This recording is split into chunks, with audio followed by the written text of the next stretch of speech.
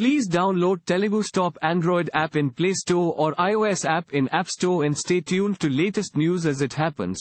Cuttack, December 24th. Telugu Yoddhas registered a thrilling 46-44 victory over Mumbai Khiladis here at the Jawaharlal Nehru Indoor Stadium on Sunday.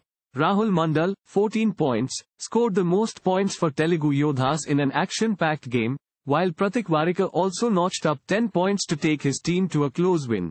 Telugu Yoddhas were offered to chase first after losing the toss and used the opportunity to the full effect as they earned 24 points by getting all four batches out in the first turn. Pratik Waikar and Milan Chavrekar scored 6 points each to give their team a perfect start in the match. Mumbai Khiladis responded with fierce attacking intent and took a lead in the match by clinching 26 points in the second turn. Ankit Pote's swift movements proved to be a nuisance for the Telugu team as he got 6 points through two pole dives and a sky dive. Gajanan Shengal also earned 6 points in the first innings.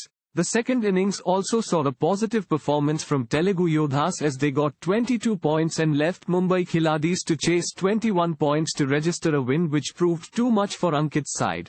Thank you for watching. Please subscribe to channel and click on bell for more daily videos.